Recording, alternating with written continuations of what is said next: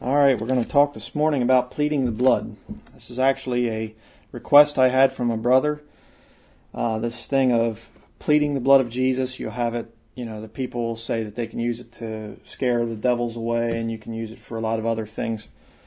I'm going to be reading an, an article here from BibleKnowledge.com. And uh, I just want to say that many Christians are kind of like this thing right here. Anybody tell me what that is? It's a parrot. It's a parrot. You know, what's a parrot do? They repeat what they hear. Yeah. And I can tell you right now, you will be guilty of that at some point in time in your life as a Christian. Amen. You'll find yourself repeating something, and then all of a sudden somebody comes along and they say, uh, Hey, I heard you say that. Um, is that really scriptural? And you kind of get this like blank thing in your head, and you go, I don't know. you know, and I had a guy ask ask me that this thing of pleading the blood is it scriptural? And it was kind of like, you know, I don't I don't really know. I mean, I've heard people say it. I've heard some actual, you know, Bible believers say it, and I and I was challenged on it, and I thought, I don't really know what the Bible says. So we're going to look at that this morning, and it's interesting because that's just one of the pictures there, the the parrot. Over here, I have the other picture, and what is that? A sheep. And it's kind of interesting because this is what the Bible, the Bible doesn't call us parrots, fortunately, but, but the Bible does call us sheep. The Lord Jesus Christ likened us to sheep. Now, what's a sheep do? A lot of times they'll follow the uh, pack or whatever, the, the herd, the herd mentality. A lot of times I remember when I was little, there was a pasture way back in the woods. Um, you had to hike way back in there, and I'd be walking back through, just hiking, or sometimes I'd be out small game hunting, and there'd be this flock, not herd, but like a, flock of sheep there, and one of them would see me, and he'd meh, you know, and he'd take off running, and the whole flock of sheep would go taking off with him, and they never, most of them didn't even see me, but see, the one ran, so the rest ran with him. They went with the crowd. That's what the Lord likens you to as a Christian. And me. We're likened to sheep. And we have to be very careful about that. There are some things that you should follow. When you see something from Scripture that's proved, you should follow it. Okay? But you always have to have that thing, keep it in mind, compare it with the Scripture. What does the Bible say? Go back to the Bible. So, having given that as an introduction, does the Bible actually say pleading the blood? No. Does the Bible have the words plead and blood anywhere? Yes. Actually, it does. In fact, in the same verse. Ezekiel chapter 38. Turn there in your Old Testament to Ezekiel chapter 38. We're going to see that the Bible actually does have a verse on the term, using the terms plead and blood. But it's a little bit different than what most people would think pleading the blood's about. We're going to read a couple verses here to get into context. We're going to start at verse 14, Ezekiel 38, verse 14. It says here, Therefore, Son of Man, prophesy and say unto Gog, Thus saith the Lord God, In that day when my people of Israel dwell, dwelleth safely, shalt thou not know it? And thou shalt come from thy place out of the north parts, thou and many people with thee, all of them riding upon horses, a great company and a mighty army and thou shalt come up against my people of Israel as a cloud to cover the land. It shall be in the latter days, and I will bring thee against my land, that the heathen may know me, when I shall be sanctified in thee, O Gog, before their eyes. In other words, the Lord's going to slaughter them all, and He's going to let the, the nations of the world see it. Okay? Uh, verse 17 Thus saith the Lord God Art thou he of whom I have spoken in old time by my servants the prophets of Israel, which prophesied in those days many years that I will, would bring thee against them? And it shall come to pass at the same time when Gog shall come against the land of Israel, saith the Lord God, that my fury shall come up in my face. That's a bad thing. Verse 19 For in my jealousy and in the fire of my wrath have I spoken. Surely in that day there shall be a great shaking in the land of Israel, so that the fishes of the sea and the fowls of the heaven and the beasts of the field and all creeping things that are, that creep upon the earth And all the men that are upon the face of the earth shall shake at my presence, and the mountains shall be thrown down, and the steep places shall fall, and every wall shall fall to the ground. And I will call for a sword against him throughout all my mountains, saith the Lord God. Every man's sword shall be against his brother. Now there's debate here whether this is at the end of the tribulation, the time of Jacob's trouble, or at the end of the millennial kingdom. Okay? We're not going to get into all that, but I want you to notice the next verse. Verse 22.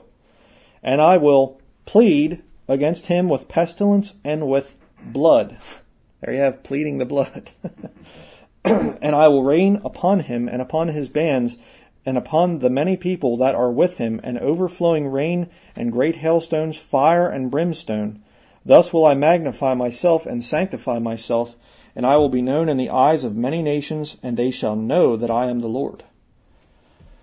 now, is that a positive or a negative reference? I think that's negative. It's very negative. You don't have Christians here pleading the blood to cast devils out. That's not what it's about. the only verse in your entire Bible, right there, that talks about pleading and blood, is talking about the Lord actually bringing His wrath and His judgment and pouring it on people, and there's going to be bloodshed as a result. And if you want my honest opinion about it, I believe this is Revelation 19, is when this thing happens. Because at the end of the millennial kingdom, you have the these armies compassing Jerusalem, and the Lord just burns them. He pours fire on them, and they're consumed. Here you're seeing blood, you're seeing war, you're seeing battle. I believe that's Revelation 19. I believe that's what's going on there. Okay, so the only time that the, the term plead and blood appears in your Bible is a reference to the Lord Jesus Christ destroying these heathen people that are coming against Israel. Now, we're going to go to the article here. I'm going to start, and there are no references in the New Testament, by the way, to pleading the blood. We're going to be looking at that as we continue. But I'm going to go to this article here at BibleKnowledge.com. And, you know, this is basically the typical thing that you're going to hear, the typical arguments. All right? How to plead the blood of Jesus for deliverance and protection.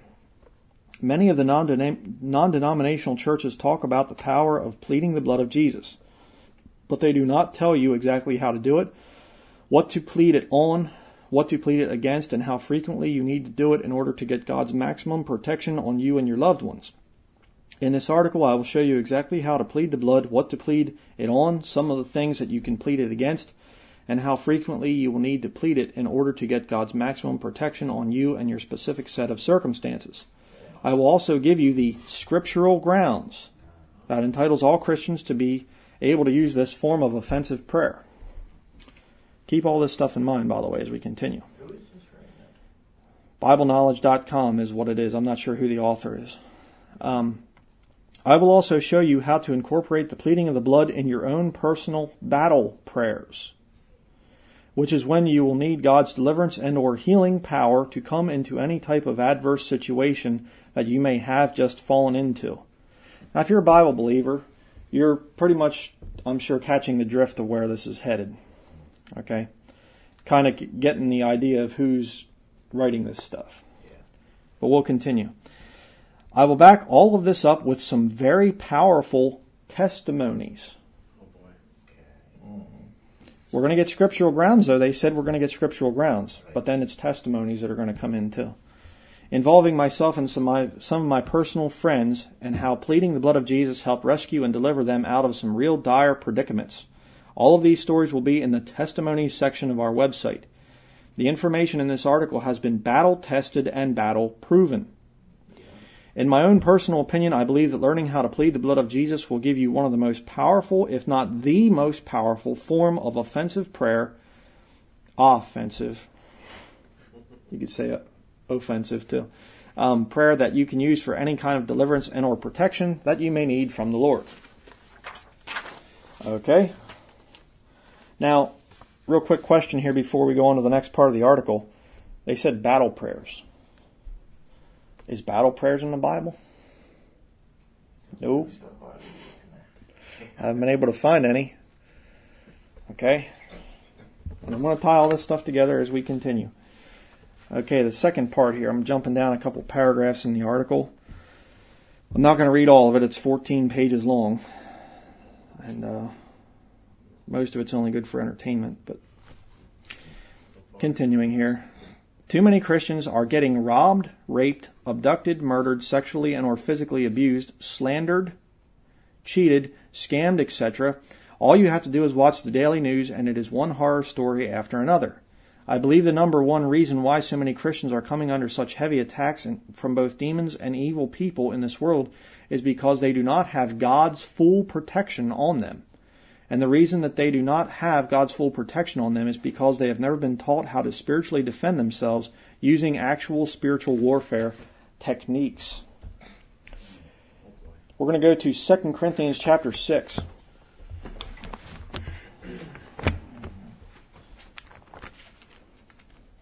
Now, I got to ask a question.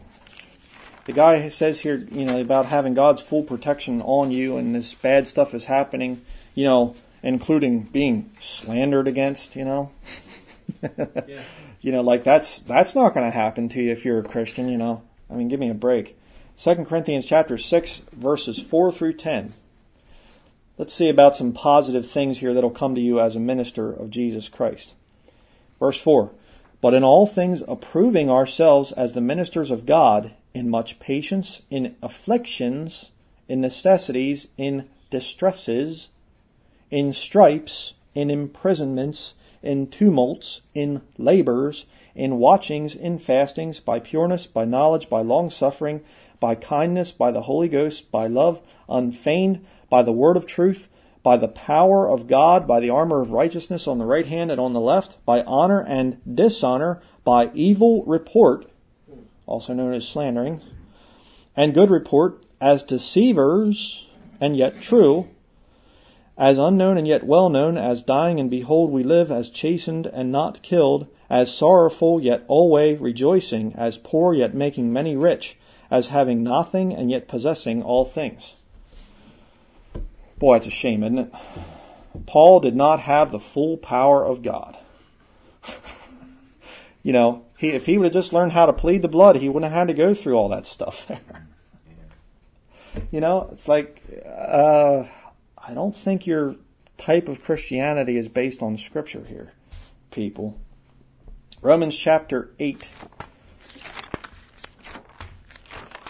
You see, the charismatics have this funny notion of uh, Christianity that it's supposed to be this wonderful positive, positive thing and you never have any hard times. And if you have hard times, it's just an attack of the devil and you can do some magic thing, you know, speak in tongues against it or you know, plead the blood on it and it, it just goes away. Well, it doesn't work that way. Romans chapter 8 verse 35. Who shall separate us from the love of Christ? Shall tribulation or distress or persecution or famine or nakedness or peril or sword? As it is written, For thy sake we are killed all the day long, we are accounted as sheep for the slaughter. Nay, in all these things we are more than conquerors through him that loved us.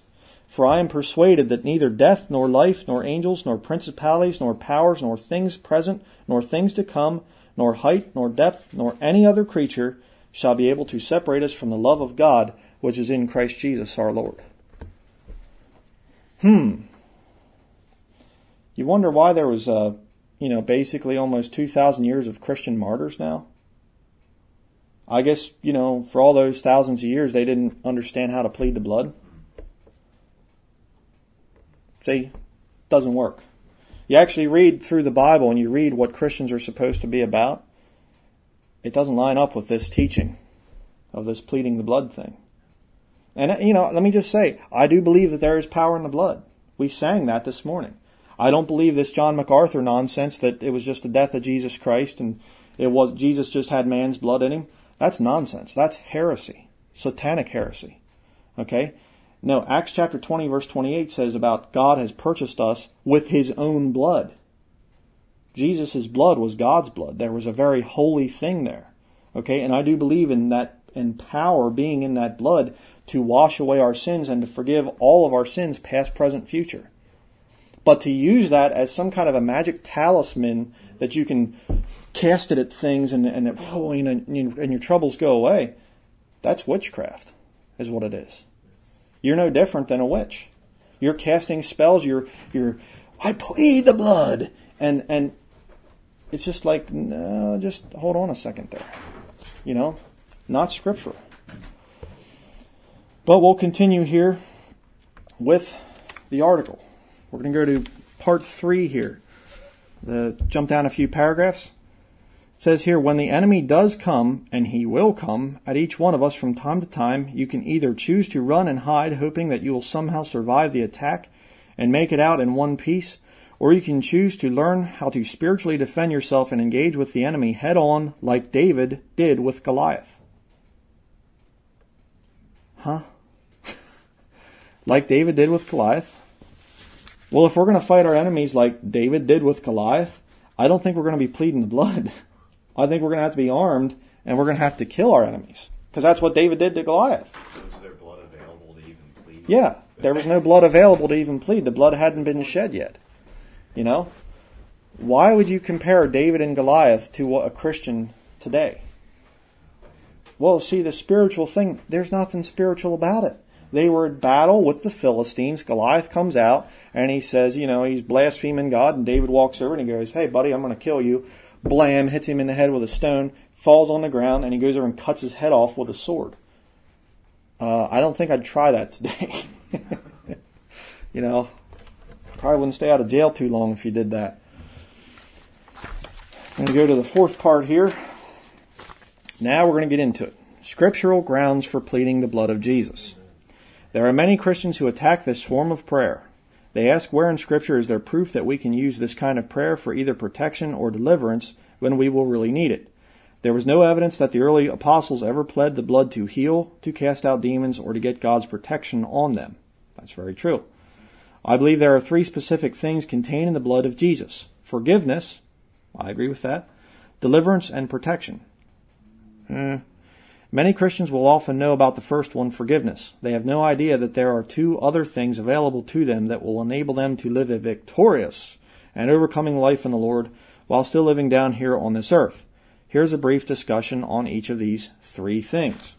Okay, now they go into the first one there in forgiveness, and of course they aren't quoting the King James Version. Surprise, surprise, you know, they quote the New King James. Uh, and they they quote uh, Matthew 26, 28 and Ephesians 1, 7. We're not going to turn there. Um, but it's interesting that these spirit filled people would quote the New King James Version, the New King James Version with the triquetra, the three pointed star of witchcraft, oftentimes on the cover or in the inside of the thing. The New King James Version put together by some of the worst liberals out there, like Harold Ockenga, the man that was a missionary to Africa, and he basically developed the whole neo evangelical thing back in the 1950s. He was the one that started bringing a lot of the pagan heathen music into the churches. I mean, the guy was just wicked, totally wicked. And he was a professor out at at, at uh, Fuller Theological Seminary, where Rick Warren was trained. Hmm. And this is one of the guys that put together New King James. Hmm. You know, yeah. And they had an Episcopalian on the on the team, and they had a Pentecostal, and they had a Baptist, and they had it was like this ecumenical bunch of nonsense that got together to put the New King James out.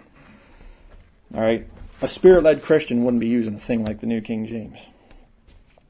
Now we're going to go on to the fifth part here to deliverance, because I do agree with the thing of, of forgiveness. The blood does cleanse you from all sin. Okay? There's no debate there. All right?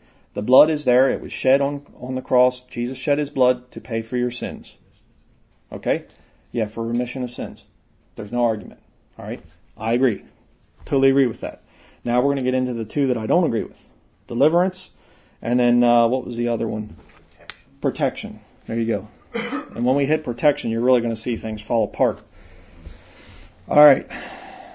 Deliverance. Now, what are the scriptural grounds that will give us the legal right to be able to use the blood of Jesus when taking on any attacks that may come our way? As you will see in some of the stories in the testimony section of our website, you can plead the blood of Jesus against specific types of attacks, such as attacks from demons or other evil people. Any kind of physical illness or disease, or any kind of addictions like drugs and alcohol. Many Christians are not aware of this second com- component that is in the blood of Jesus, which will enable us to be able to use his blood to go on the offensive against any adversity that may come our way. Something else that uh, something else happened that day when Jesus died on the cross for all of our sins. The Bible tells us that Jesus also defeated Satan and all the powers of darkness that day. Here are several good verses from Scripture proving this point to you. All right. Uh, let me ask a question here before we continue. Did Jesus defeat Satan at the cross? In what way? in what way? Yeah. Yes, in terms of death and, and everything like that, and people going to, to hell and all that, you know, as far as the thing of having to go down to Abraham's bosom and all that. Yeah, he did triumph over him. But the point is, Satan is still the God of this world. And the majority of people are still going to hell. So you can't say, Satan's a defeated foe, you know. Well, in terms of salvation, yeah, you know, somebody gets saved, he has no power over them to send them to hell or anything. But he hasn't been defeated in this world. It's not true. Now they quote a couple verses here. Just going to read down through them because we have a lot to cover. Hebrews chapter 2 verse 14.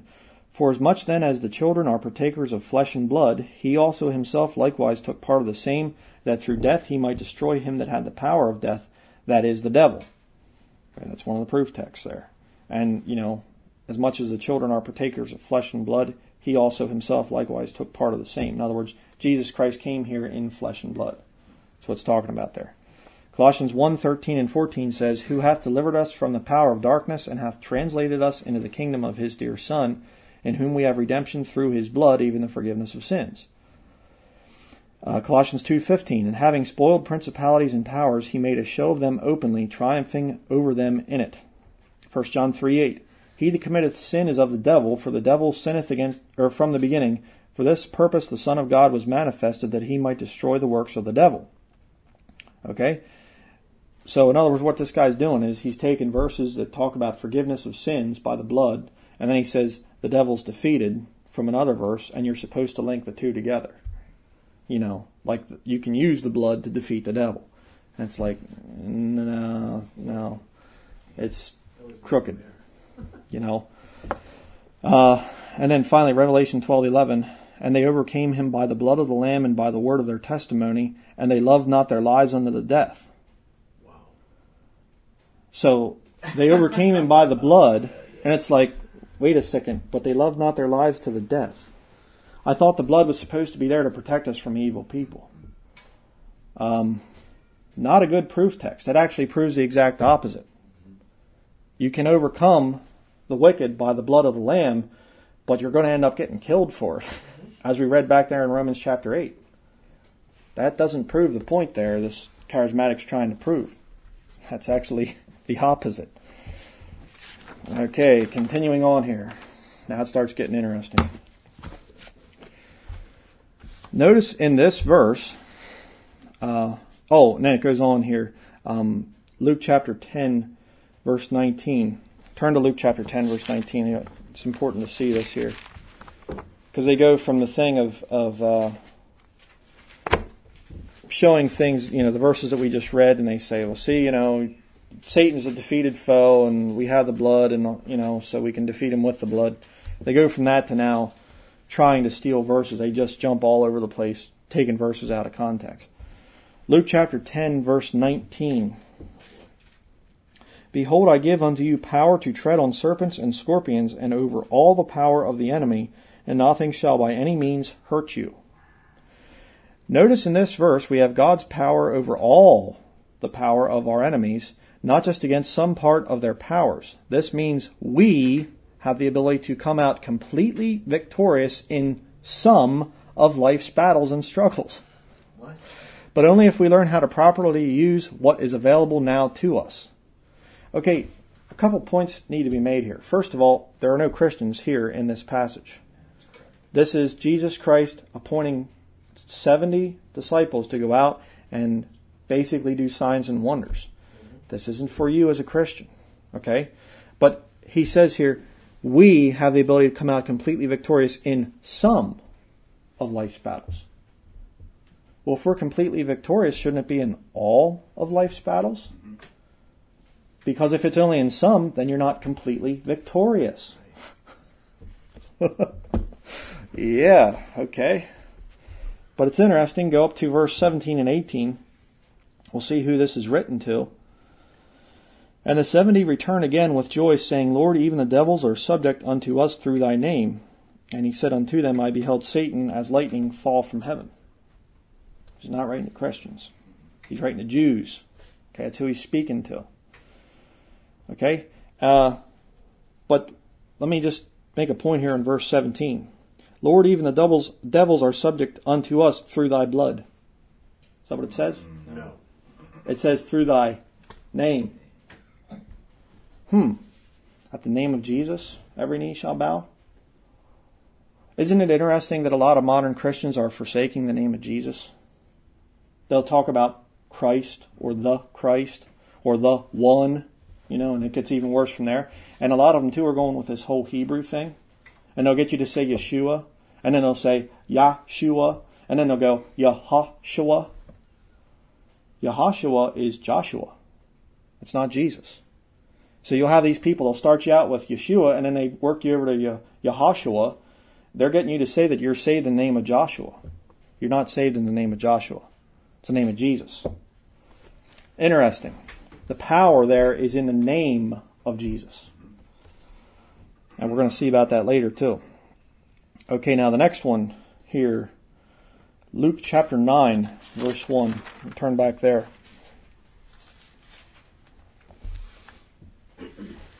This is another one that they're going to quote to try and prove this whole thing, pleading the blood. Then he called his twelve disciples together and gave them power and authority over all devils and to cure diseases. Okay?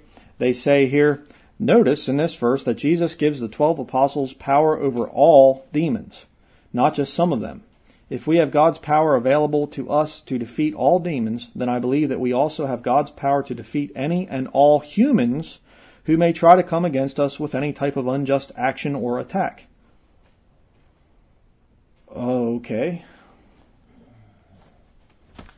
See the, the absurdity of this thing? I mean, were the martyrs wrong?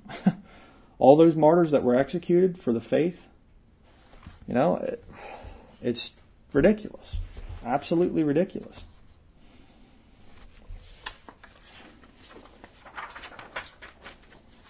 Daniel chapter 11:32 or I'll just read this one here quick. Um, and such as do wickedly against the covenant shall be corrupt by flatteries. They leave that part out, but then they say, But the people that do know their God shall be strong and do exploits. Okay? And they say here, Knowing their God means that we have spent good quality time in establishing a good personal relationship with the Lord. If we do this, then this verse is telling us that God will strengthen and empower us when we need His power to be able to carry out great exploits and great adventures for Him. Okay. so, you know, it goes back to the book of Daniel and says, this is for us today, you know. See the mess people that are non dispensational get themselves into? You know, it's bad. Second Corinthians chapter, or yeah, Second Chronicles chapter 16 verse 9, another verse for us Christians today. For the eyes of the Lord run to and fro throughout the whole earth to show himself strong in the behalf of them whose heart is perfect toward him uh, herein thou hast done foolishly. Therefore, from henceforth thou shalt have wars. You know what's interesting? In the article, they only quote the first part. They leave out, Herein thou hast done foolishly, therefore from henceforth thou shalt have wars. you know, it's like, uh, why'd you only quote the first part?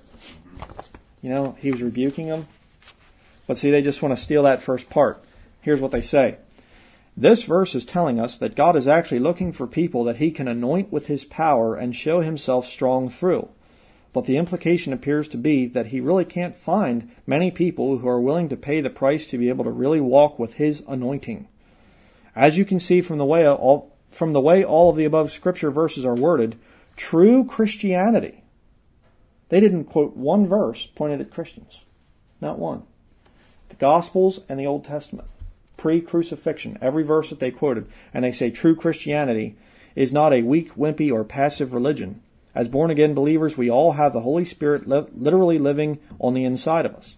Now that's true, but then they take it and they mean it to say that you can do all this miraculous power stuff. And they steal verses from the Old Testament from another dispensation and try to apply it to today. It just doesn't work. It's crooked. Now, if you want to see, let's talk about some true Christian power. Turn back to the book of Philippians. Philippians chapter 3. You want true power, true spiritual power? I'm going to show you how to get it. And we're going to see seven different things in these verses. Philippians chapter 3 verse 7. Here you have the most powerful Christian that ever lived. Paul writing. But what things were gained to me, those I counted loss for Christ. Yea, doubtless, and I count all things but loss for the excellency of the knowledge of Christ Jesus my Lord, for whom I have suffered the loss of all things, and do count them but dung, that I might that I may win Christ, and be found in him, not having mine own righteousness, which is of the law, but that which is through the faith of Christ, the righteousness which is of God by faith. Now look at this, verse 10 here. That I may know him and the power of his resurrection. Boy, isn't that nice? Continue reading. And the fellowship of his sufferings, being made conformable unto his death. You want power? Right there it is. Let's look at seven different things here. First of all, what things were gained to me, those I counted loss for Christ. Self sacrifice.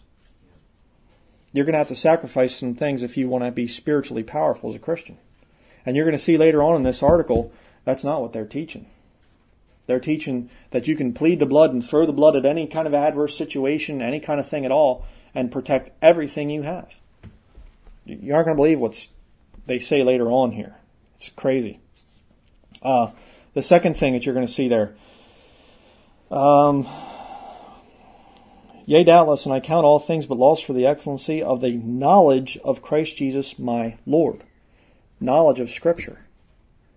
You say, well, I can know Jesus Christ outside of the Bible. I just want to have the experience and feel. No, you can't.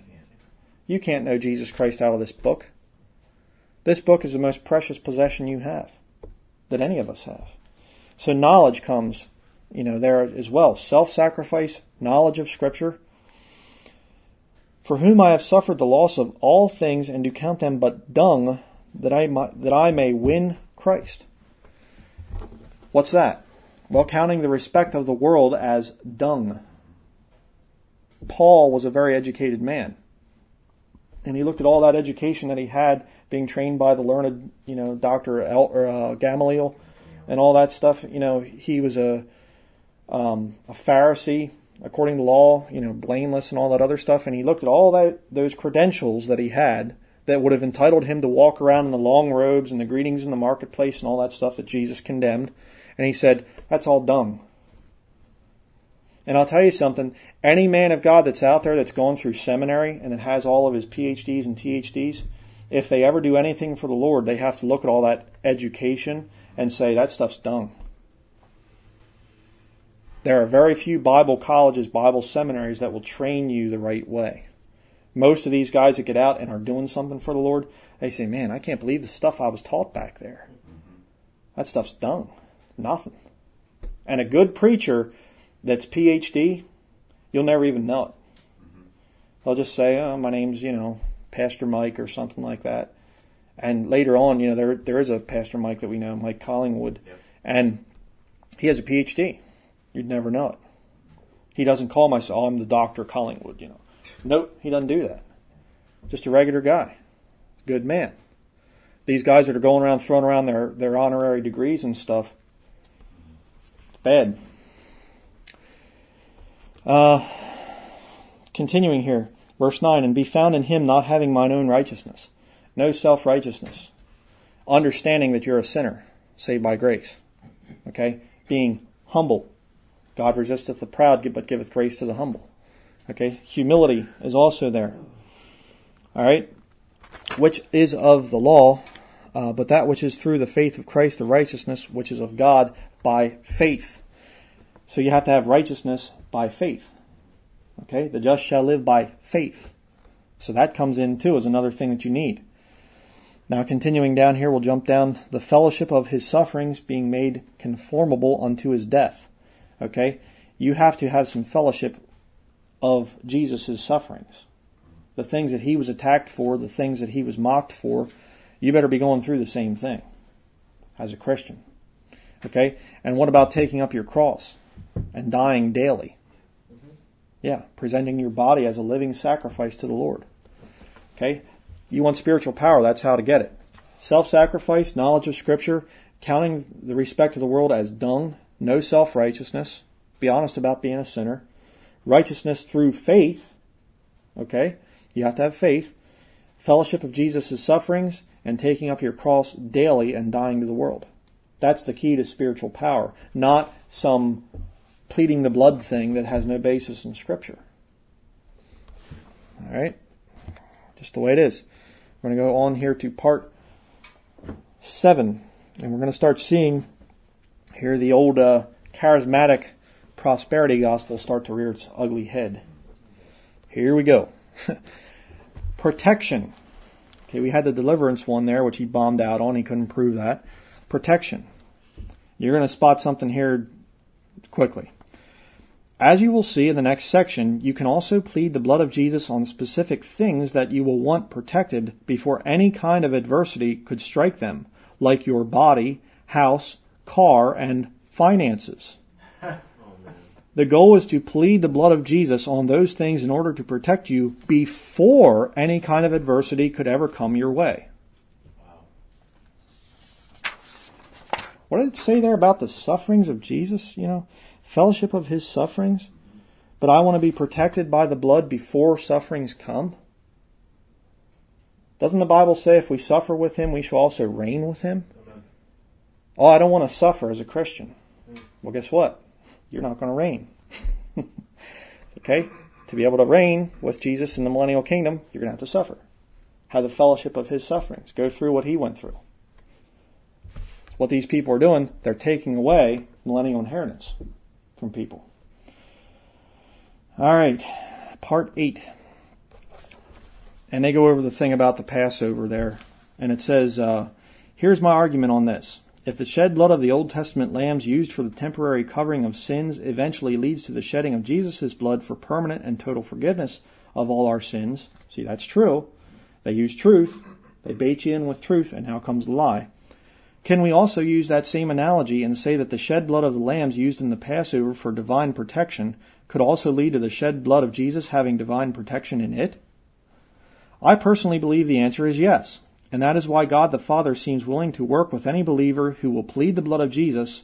You know, he seems, you know, seems, possibly, maybe, you know, uh, who will plead the blood of Jesus on whatever they want to protect protection on before any attack can come their way just like he did in the story of the Passover with his own chosen people.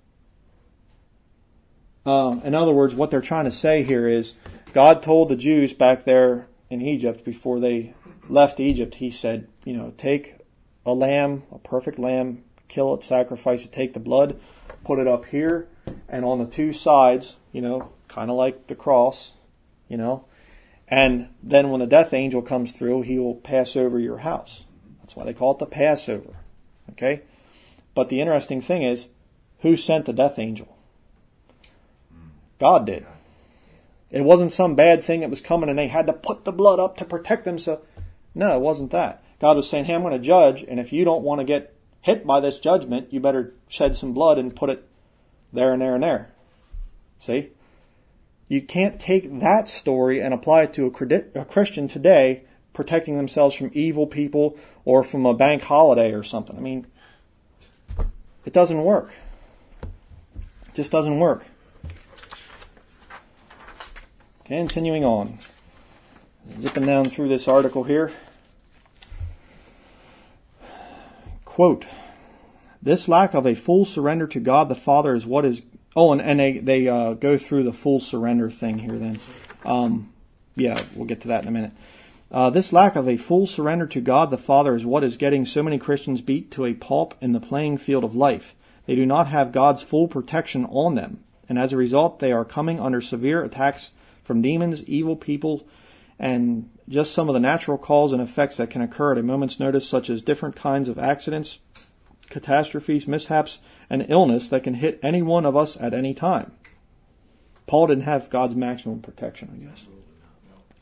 Without God's maximum protection, any one of us can get hit by these types of severe storm clouds.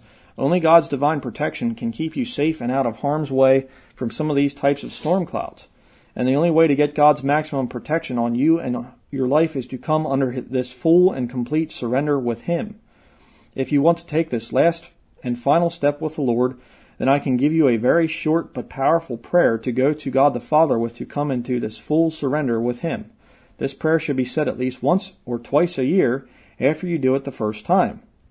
You need to show God that you mean serious business with Him on this, and by continuing to recite this prayer back to Him on a once or twice per year basis, you will be showing Him that you are really serious about this full surrender, and you will, uh, and that you will continue to let Him have full control of your entire life for the rest of your earthly life. Good English there. Entire life for the rest of your earthly life. No, they give a prayer out for free. Don't worry about that. But uh, um, what does the Bible say about repetitious prayer? Mm-hmm. Watch out. Vain repetition. Yeah, vain yeah. repetitious prayer. But watch out for this thing of here's an official prayer formula, and you need to say it so many times a week or so many times a year or whatever. That's Catholic. Yeah, that's liturgy. Yeah. yeah liturgical. You know, the the Sunday Missal that you get as a Catholic. You know, and you can go in there and you can pray your special little prayers and it gets you time out of purgatory and stuff. Look out for that. You know? Dangerous stuff. 2 Corinthians chapter 11. Turn there. 2 Corinthians chapter 11 verse 23. Now remember there it said that if you're fully surrendered, the Lord will protect you from catastrophes and all kinds of good stuff. Let's continue. Verse 23. Are they ministers of Christ? I speak as a fool. I am more. In labors more abundant, in stripes above measures, in prisons more frequent, in deaths oft. In other words, his life was, he almost died a couple times. Mm-hmm. Of the Jews, five times received I forty stripes, save one. Thrice was I beaten with rods, once was I stoned, thrice I suffered shipwreck. A night and a day I have been in the deep, in journeyings often, in perils of waters, in perils of robbers, in perils by mine own countrymen, in perils by the heathen, in perils in the city, in perils in the wilderness, in perils in the sea, in perils among false brethren, in weariness and painfulness, in watchings often, in hunger and thirst, in fastings often, in cold and nakedness, beside those things that are without, that which cometh upon me daily, the care of all the churches. Who is weak, and I am not weak? Who is offended, and I burn not? If I must needs glory, I will glory of the things which concern mine infirmities. Isn't that something? He doesn't say, well, bless God, we had 3,000 people saved last week at the revival meeting, and we had 50,000 people in Sunday school last week, and our giving, the offering was way up from last, you know, month or something, and we're looking to build this big building, and we're going to build a seminary next to it, and he isn't doing that. He's not glorying in those things. He's glorying in his infirmities. He's going, hey, check this out. Look at it. You know, pulls his shirt up. Look at all them stripes. Isn't that great? you know? Yeah, know, look at look at that. I lost that finger over there in the one battle and stuff. Yeah, and this this thing over here. I remember this time I uh, shipwrecked and I was out there in the ocean. There were sharks swimming everywhere. Isn't that wonderful? How contrary that is to the modern prosperity gospel, to the modern charismatic oh, God's going to just work everything out for you. You'll never have to suffer. See? Just totally contrary to it. That's how you can know this whole pleading the blood thing is just, it's not of the Lord. I'm real sorry. Continuing on here. Uh, let's see, where am I at here?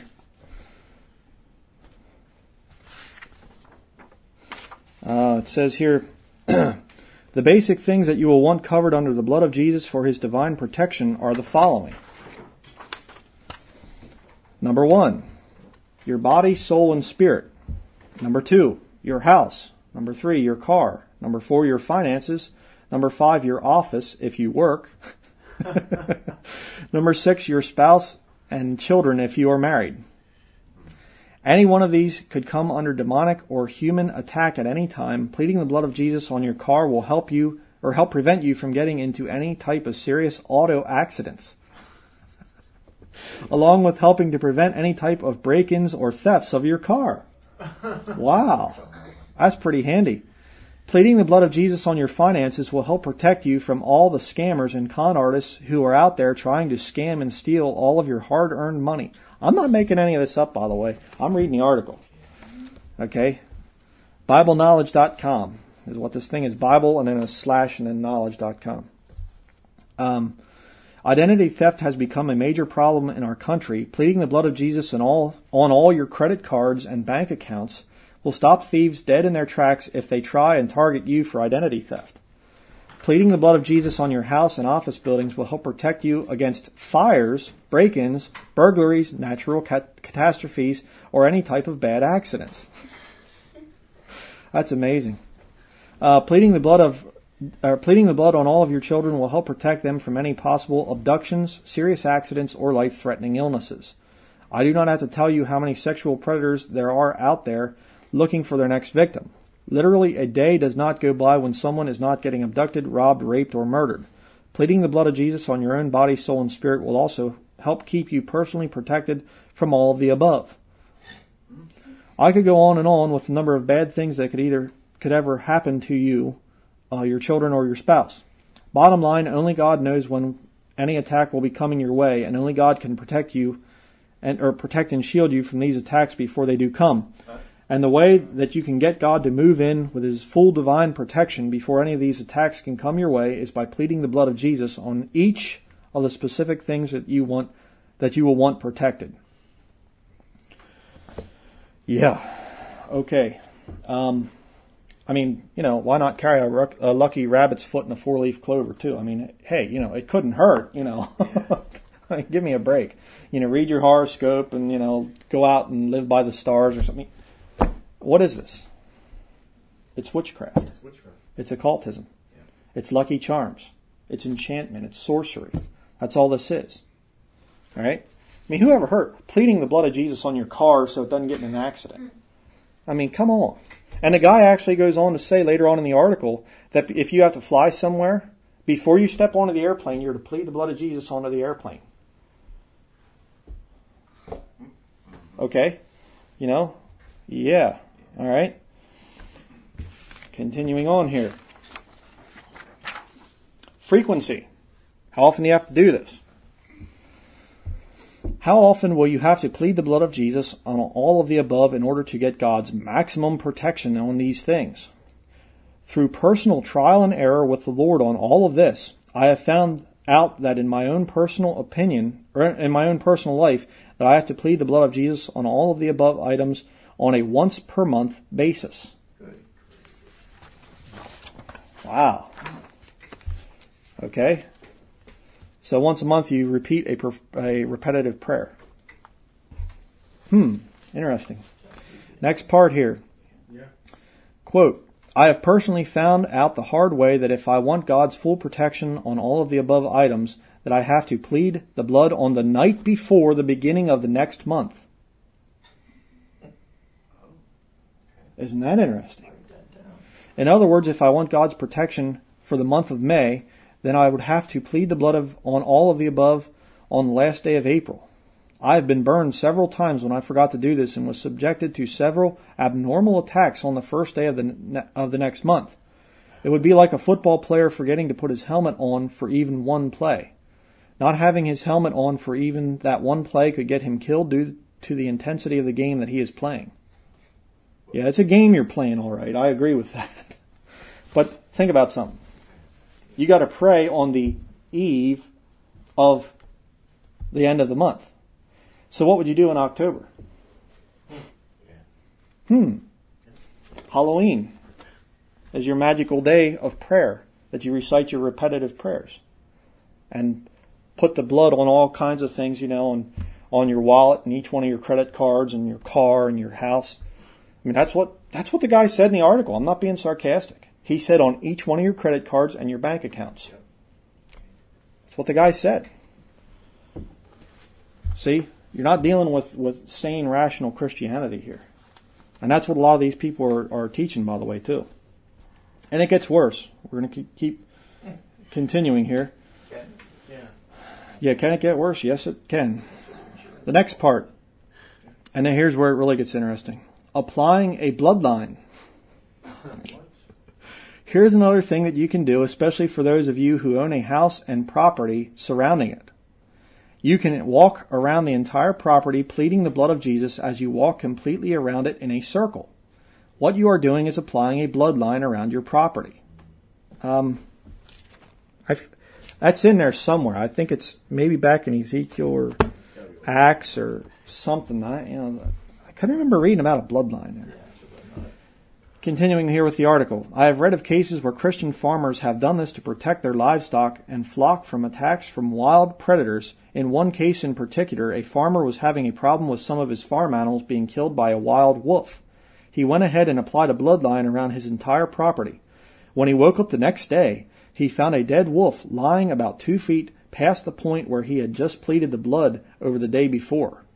In other words, the wolf had crossed over about two feet into the farmer's territory and had crossed the bloodline. The wolf was stricken dead as soon as he crossed the bloodline. The farmer had no more problems with any of his animals being killed after that one wolf had been struck down because he was made an example, you see. And the other animals are smart enough to see, you know, oh, that was the bloodline. Hey, I, I warned him, you know. you know, I mean, you know, what are we going to deal with? Leprechauns here jumping up and, you know, rainbows and pots of gold and, you know, you know, Cooksville. Pleading the blood and applying a bloodline around your house and property can also help protect you from earthquakes or tornadoes. There have been documented cases out in California where some Christian families had pleaded the blood over their houses and property. An earthquake had then hit the entire area. All of the houses in their subdivision had sustained some type of damage from the earthquake, but there was no damage whatsoever to the houses that had pled the blood of Jesus on them by the Christian families. Now, notice something that he said. There have been documented cases. Where are they? Oh, oh well, you know. and we're going to see later about this documented cases thing. Okay? And again, what about the Christian martyrs? What about the Waldensian people that were basically completely wiped out by the Catholic Church? Because they would not bow, they would not bend, they would not submit to the Catholic Church. And they fought and fought and fought over the centuries with the Catholics, and finally the Catholics just killed them all. Sending in troops of thousands against a small village of people. You know? and going in and doing things that are just too horrible to even mention to those people. Where's this stuff at? For thy sake we are killed all the day, all the day long. We are counted as sheep for the slaughter. The Waldensians fulfilled that scripture. This nonsense here has nothing to do with that. See? It's just ridiculous. And then you get into trains and planes, just like I said. Before you get on a train, before you get on a plane, you plead the blood on it, you know, and, and then, you know, you'll be protected. I guess if there's an accident or something like that, the whole rest of the train will blow up or the plane and, and your like seat, you know, will be perfectly fine. You know, something. yeah. All right. Uh, continuing on here. We're almost done with this article. You have to endure to the end. yeah. Uh, if you're listening online and you need to, you know, rush to the bathroom to, you know, spew, as the Bible says. Uh, continuing here, uh, just pause the thing. Uh, another part here. Um, these verses are talking about the signs and wonders that the early apostles walked with. These verses are specifically telling us that all the signs and wonders that were done by the early apostles were done by the power of the Holy Spirit. Now, watch. See, these people will do this over and over again. They will tell you the truth, and once you say, yeah, that's true. Yeah, yeah, yeah. Then they come in with the lie, just like Satan did. You know, that's what that's the way they do this. Continuing here. And if we have the same Holy Spirit that the early apostles did, then we too are capable of having God manifest his power to us through the Holy Spirit like he did with them. The Bible tells us that God is no respecter of persons, which means that he will do for one, what he will do for one, he will do for another. See? So they come in and they say the early apostles did things by the power of the Holy Spirit, truth, and we too have that same power, lie. They mix it together. When the Spirit of truth has come, he will lead you into all truth. Okay? This nonsense, we have the Holy Spirit, we're preaching the Holy Spirit, the Holy Ghost is manifested on us, and then they're lying. Satan is the father of lies. Now be careful about that. And I'll tell you what, the reason that these people are so successful at deceiving huge multitudes of people, and we're going to see about some of this deception here in a minute, the reason they're so successful is because people don't know the Bible. Mm-hmm. If you know this book, you're not going to be deceived as easily. Okay? You can still get deceived even if you know the book. Now, then he goes on to the thing of personal testimonies, uh, section of our website. And he says here, due to the very personal nature of many of these testimonies, I will not be releasing names of the actual people involved. Wow.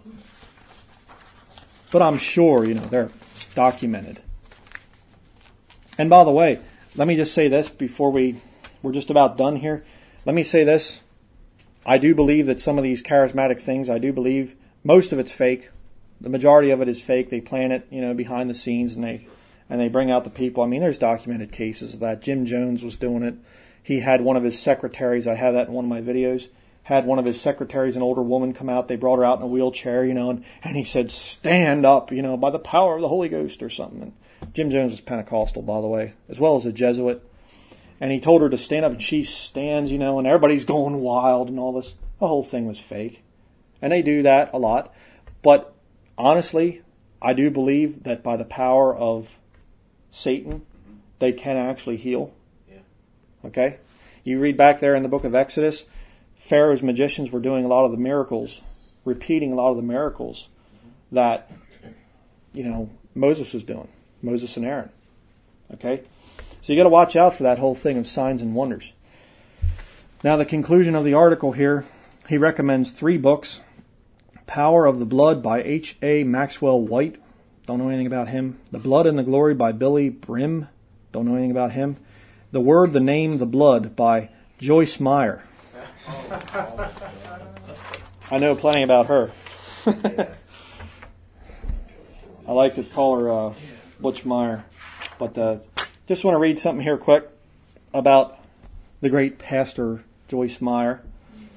Joyce Meyer used to travel in this Canadair Challenger 600S seen here in Sydney, Australia, when she is, was a special guest at the Hillsong Conference in July of 2005. It has been replaced by a Gulfstream 4. Okay? $10 million airplane she's flying around in. Meyer, who owns several homes and travels in a private jet, currently a Gulfstream 4, has been criticized by some of her peers for living an excessive lifestyle. She claims that she doesn't have to defend her spending habits because, quote, there's no need for us to apologize for being blessed. I bet you she pleads the blood on her finances and everything. But it's not the blood of Jesus. By devil's blood. Meyer commented, quote, You can be a businessman here in St. Louis, and people think the more you have, the more wonderful it is. But if you're a preacher, then all of a sudden it becomes a problem. Uh-huh. Yeah, you know, obviously. And uh, she's not a preacher. On November 11th, 2003, the St. Louis, St. Louis, St. Louis, however you want to say it, Post Dispatch published a four part series exposing Meyer's $10 million corporate jet, her husband's $107,000 silver gray Mercedes sedan, her then $2 million home, and houses worth another $2 million for each of her four children. Her $20 million headquarters, furnished with $5.7 or $5.7 million worth of furniture, artwork, glassware, and the latest equipment and machinery, including a malachite round table, a marble topped antique commode, which was heated, by the way, oh. a custom office bookcase.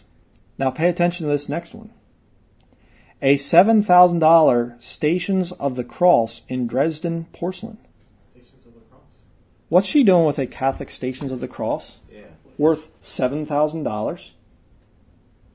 Can you say, Jesuit? There you go. Yeah. Hmm. You know, I wish, I've often wished this, and I'm probably am never going to get it because if I did, I'd probably get killed, but I often wish I had a list of who the Jesuits are. I bet you'd be shocked. I bet you some of the biggest names out there, some of the guys that you think, oh, they're, well, maybe they're just a little off doctrinally or whatever. I bet you a lot of them are Jesuits. And you study it, a lot of them are pushing the teachings, the core doctrines of Catholicism. Yeah. All right? It's bad. Continuing here, an eagle sculpture on a pedestal, another eagle made of silver, and numerous paintings, among many other expensive items, all paid for by her ministry. The article prompted Wall Watchers, a Christian nonprofit watch, watchdog group, to call on the Internal Revenue Service to investigate Meyer and her family. Following the adverse publicity about her lifestyle and Ministry Watch's request for an IRS probe, Meyer announced in 2004 plans to take a salary reduction from the $900,000 per year she had been receiving from Joyce Meyer Ministries, in addition to the 450,000 her husband received. You gotta love that, a little bit of feminism there, you know. Yeah. Her husband's making half of what she makes.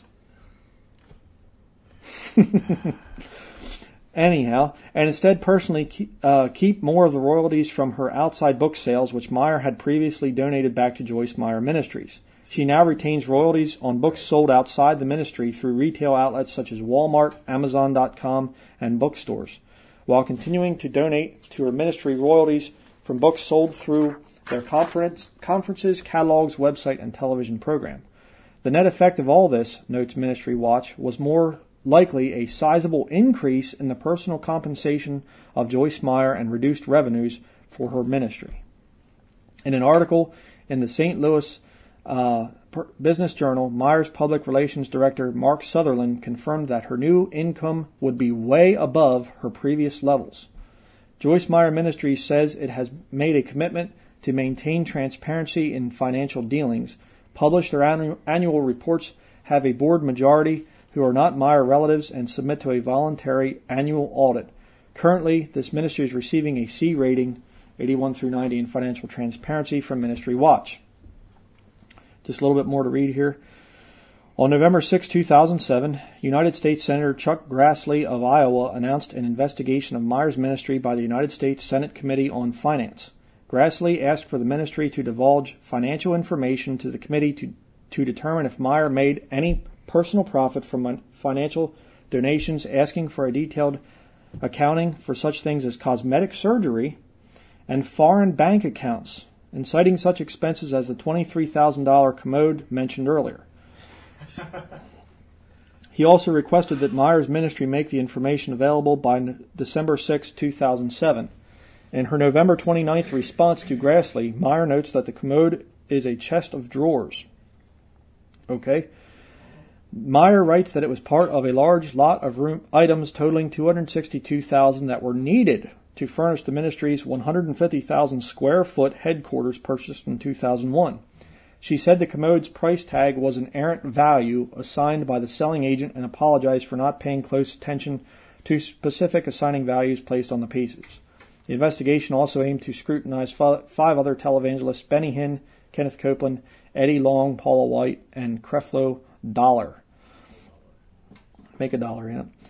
Joyce Meyer Ministries responded with a newsletter to its email list subscribers on November 9, 2007. The organization referred to its annual financial reports, asserting that in 2006 the ministry spent 82% of its total expenses for, quote, outreach and program services toward reaching people with the gospel of Jesus Christ, as attested by the by independent accounting firm Stanfield, Stanfield and O'Dell LLP. The message also quoted on an October 10, 2007 letter from the Internal Revenue Service which stated, "We determined that you Joyce Meyer Ministries continue to qualify as an organization exempt from federal income tax under IRC section 501c3." Yep. The same information was also posted to the ministry website. Who says crime doesn't pay? And if that's not bad enough, had a brother send me this last night. Pay per view Jesus. Two guys. Joel Osteen is now charging $147 for front row seats at his services. $147 to have the seats right there in front of where the guy stands. Boy, that's spiritual. And then, pay per view here, Dr. Myles Munroe is hosting a conference in which the pay per view charge is $199. You know, pay per view, WrestleMania, and boxing events, and all this secular stuff. Right. And now it's going to be preaching too. Incredible. And here's the flyer for it. I kind of have it messed up here. It's printed partly here and partly on the other thing. It's the November 6th through the 10th. Hey, Hey, we still have time to watch it, I guess. November 6th through the 10th, 2011, MMI Global Leadership Summit. I love that. Global Leadership Summit. And what are they going to be teaching? For the serious leader dedicated to personal development, corporate competence, and national interest. They're going to be talking about corporate leadership. Now, what have I been saying all along here? 501c3s are a corporation. Yeah. And the pastor, the quote unquote pastor, is the CEO of the corporation. And they're having things saying that we are going to teach you how to be a corporate leader. See, it's getting so wicked and so evil that they are now just openly saying, yes, we are Jesuits. Yes, we are using Catholic Bibles. Yes, we are stealing money from you. Yes, we are, are living luxurious lifestyles while you people, a lot of you are unemployed and we just keep stealing your money. Yes, we are corporate leaders. Yes, you know, it's all true. And the people are so deceived and so dumbed down that they're just going, I don't believe it. Here, can I give you more money, you know? Can I, can, where do I sign up? And you have these modern churches that are putting in ATM machines and giving their people cards. And you can come in and you can scan your card and give money to the mega corporation. It's insane. I mean, it's just like everything that we've been saying, that Bible believers have been saying, the conspiracy minded Bible believers, it's all coming to pass. It's all happening right before your eyes. Just insane. Finally, it says here, it says uh, 21st century global leadership round table discussion. Now, if you know anything about the Council on Foreign Relations, they talk about the round table discussions. Right. And Rick Warren openly, openly, I mean, the guy's on YouTube saying it. I'm a member of the Council on Foreign Relations. It's insane. I mean, it's, it's just like the Antichrist will come and these guys are just going to be like, oh, this is the Antichrist. Yeah, we worship him. We've been setting the stage for him. And people are going to go, oh, you know, it's wonderful. Bad. Now we're going to talk about some spiritual warfare in the Bible. We're going to hit a couple passages and then we'll be done. Matthew chapter 4. What would be the greatest type of spiritual warfare that you could possibly encounter? That anybody could possibly encounter? Facing Satan. Manifest right there before you. I don't mean figuratively, the devil tempted me to do. I mean, I'm talking about he appears and he's physically right there. Did anybody ever go through that? Yeah. We're going to read about it right here. Matthew chapter 4, verse 1 through 4. Then was Jesus led up of the Spirit into the wilderness to be tempted of the devil. And when he had fasted forty days and forty nights, he was afterward and hungered. And when the tempter came to him, he said, If thou be the Son of God, command that these stones be made bread. But he answered and said, I plead the blood against you, and I rebuke you, Satan. No, he didn't say that. Read your Bible. Your Bible says in verse 4, But he answered and said, It is written, Man shall not live by bread alone, but by every word that proceedeth out of the mouth of God. Are you living by the word of God? Is this book part of your mind? Is it part of your speech? Did you know that if you ever encountered the devil, like some of these charismatics think they will, the best thing that you can do is use this book? I mean, who, who more than Jesus Christ could have pled the blood? He had the blood. he had all the blood within it. Why didn't he use it? He used the book. Isn't that amazing? Verse 5. Then the devil taketh him up into the holy city and setteth him on a pinnacle of the temple and saith unto him, If thou be the Son of God, cast thyself down, at this, for it is written, He shall give his angels charge concerning thee, and in their hands they shall bear thee up, lest at any time thou dash thy foot against a stone. Now, if you go back to Psalm 91 verse 11, we're not going to go there, but he actually, that's what Satan's quoting, but it's interesting because he leaves out to keep thee in all thy ways. See that when the devil quotes scripture, when the devil brings out a version of God's word, he'll take things out. Mm-hmm. Imagine that. now, what's Jesus Christ do in response? Verse 7. Jesus said unto him, It is written again, Thou shalt not tempt the Lord thy God. Again the devil taketh him up into an exceeding high mountain, and showeth him all the kingdoms of the world and the glory of them, and saith unto him, All these things will I give thee, if thou wilt fall down and worship me. Did you know that that offer is still good today? Yes. And the devil offers that to men and women. I'll be politically correct. Okay? Still there. You worship the devil, he'll give you the kingdoms. Verse 10 Then saith Jesus unto him, Get thee hence, Satan, for it is written, Thou shalt worship the Lord thy God, and him only shalt thou serve. Then the devil leaveth him, and behold, angels came and ministered unto him. How many times did Jesus Christ use the written word? Three. How many times did he plead the blood? Zero. Hmm. Very interesting. God's written word is the most powerful thing on this planet. Ephesians chapter 6.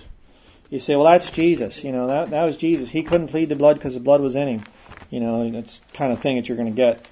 All right, well, we'll go back to Ephesians chapter 6. Doctrine written for a Christian in the church age. We're going to see what we are supposed to use. They say about in battle prayers and spiritual warfare. Okay, let's talk about battle prayers and spiritual warfare. Ephesians chapter 6 verse 10. Finally, my brethren, be strong in the Lord and in the power of his might. Put on the whole armor of God that ye may be able to stand against the wiles of the devil. For we wrestle not against flesh and blood, but against principalities, against powers, against the rulers of the darkness of this world, against spiritual wickedness in high places. Wherefore take unto you the whole armor of God that ye may be able to withstand in the evil day, and having done all to stand. Stand therefore, having your loins girt about with truth, and having on the breastplate of righteousness, and your feet shod with the preparation of the gospel of peace. Above all, taking the shield of faith, wherewith ye shall be able to quench all the fiery darts of the wicked, and take the helmet of salvation and the sword of the Spirit, which is the word of God, lowercase w, it's the written word. Verse 18, praying always with all prayer and supplication in the Spirit, and watching thereunto with all perseverance and supplication for all saints. Where was pleading the blood? It's not in there. Not part of the armor, not part of your offensive warfare weapons. It's not in there. The only time that blood is mentioned is there in verse 12 that says we wrestle not against flesh and blood. Talking about people. Flesh and blood, like we have here. Your enemies are not flesh and blood. Your enemies are not the Rockefellers or the Rothschilds and whatever else. Those guys are being used of Satan, but the point is they're not the real enemies. It's a spiritual war. And the way you fight the spiritual war is with what's mentioned here in Ephesians chapter 6. And pleading the blood's not in there. It's not there. Is there power in the blood? Yeah. To forgive you of your sins, past, present, and future. That takes power. Okay? It was God's blood that was shed there on the cross. Alright? It pays for your sins. But you can't use that and try to make it into some witchcraft thing where you're casting it at people and using it as a spell type of a deal. That's dangerous. And I'll just say, I was kind of half fallen for the thing because I never looked into it. And if I ever parroted it, if I ever said it in any of my sermons, I will hear before God and before man take it back. Okay? It's not scriptural to do this pleading the blood thing. It's just not in there. Hebrews chapter 4 verse 12. Two more places to turn to and then we're done.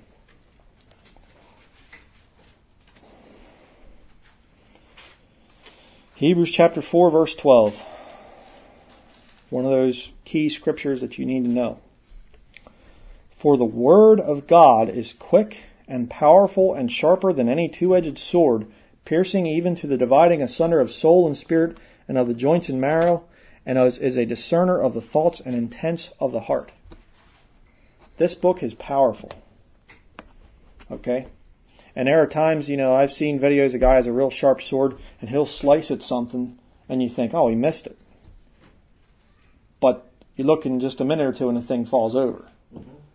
And there are times when you're going to be dealing with a lost person and they're going to blast you and make fun of you or something like that, and you're going to say, well, you know what? The Bible says that every knee shall bow. And they'll go, you know, whatever, and they'll walk away. And they don't look like they've been cut, but they have been. Okay? You might not be able to see the spiritual cut in them. Okay? You might not be able to see them repenting, having some sorrow come into their life. They might laugh at you and mock you, but they've been cut. Okay? Don't ever get to a point where you try to use your own power and your own things that aren't even scriptural, like this pleading the blood thing. It's not what it's supposed to be. We're to know the Bible so well that we can use scripture against any situation. And this book is where the power's at.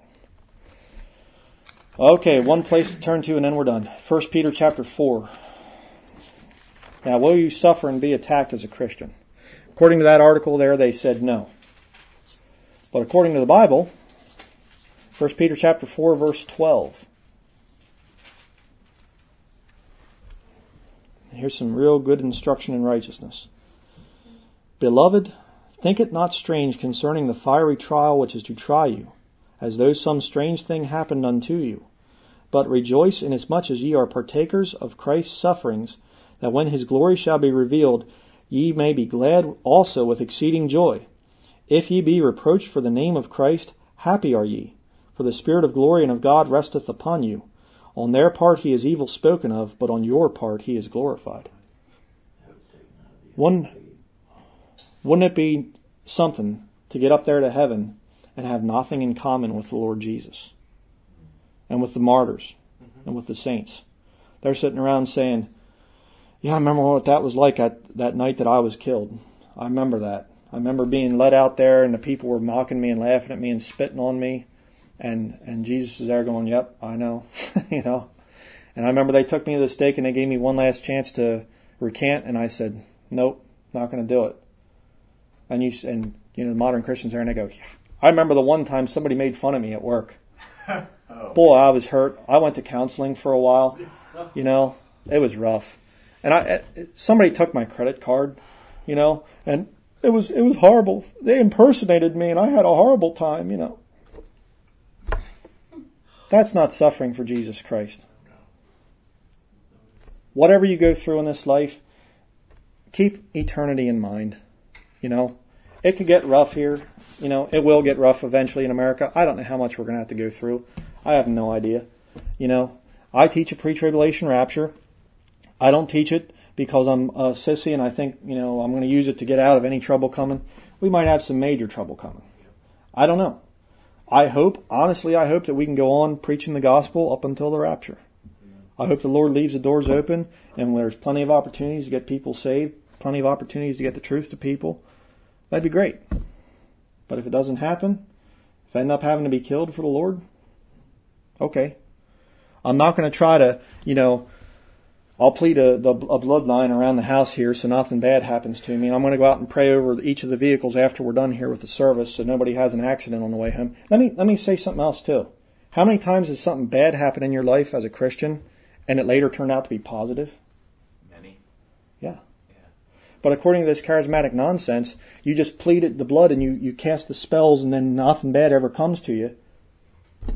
That's not the kind of relationship the Lord wants to give you. Sometimes you have to have some bad things happen to you. Sometimes you have to have sickness. Sometimes you have to have death in your family. Sometimes you have to lose your car or your finances or whatever because the Lord is directing your path. So that's going to be it for this study. Do not fall for this thing. You know, there's so many things out there today that get you off of where you're supposed to be as a Christian. So many things that sound big and impressive and neat, and, you know, and and to be able to have power over devils and I won't have to suffer, you know, that appeals to people. But it's not backed up by Scripture. Okay? I can't stress it enough. You need to know this book so that if you do run into bad situations, you can pull it out and you can say, It is written. Amen. It is written again. It is written. It's the way it's supposed to be. So that's going to be it for this morning. Uh, thank you for listening.